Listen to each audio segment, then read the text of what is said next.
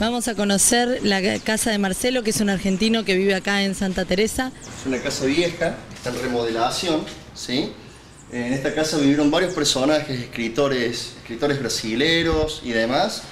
Y uno de los personajes más conocidos fue Johnny Depp. Toda esta parte se está reparando ahora. Bueno, hubo mucho viento en estos días, van a ver las folias y demás, porque la vegetación ha tomado casi toda la casa.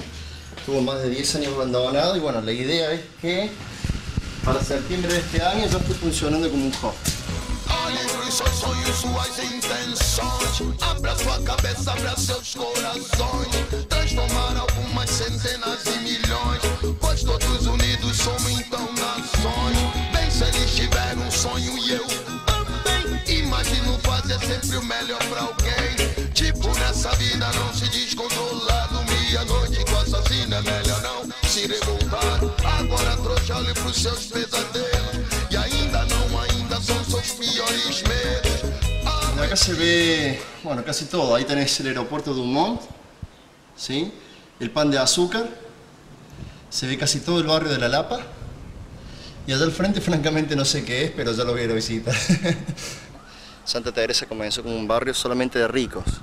Después, bueno, las mismas crisis, en la época de color de melo y demás, la gente se fue yendo, no vendía las casas porque era imposible de vender y quedaron totalmente abandonadas.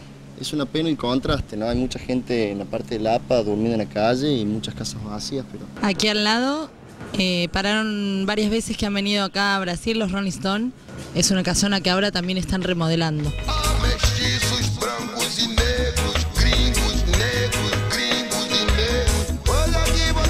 Vamos a entrar en un restaurante de la zona que es conocido por su comida típica del norte de Brasil.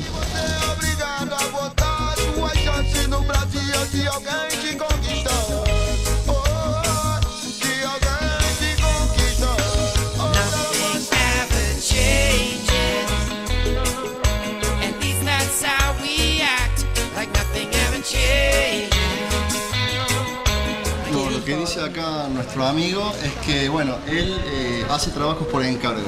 Tiene dos amigos australianos que vinieron el año pasado a hacer el trabajo, encargaron este trabajo y ahora van a venir a competir en las Olimpiadas.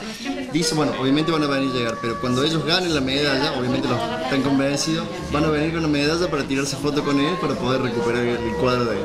Así que hace un tiempo ya que está trabajando, hace los trabajos pedidos, para, no para, solo para aquí, para Brasil, sino para todo el mundo. Bueno, gracias por todo, por la. Muitas graças, felicidade, felicidade para vocês. Obrigado pela, pela, pela visita, muito grato. Aquí entramos en otra de las tiendas. Esta tienda es de dos brasileros que son de Florianápolis y es un ingeniero y una profesora que son casados y diseñaron para sus hijos primero eh, estos muñequitos. Estos fueron los primeros. Estos ahí.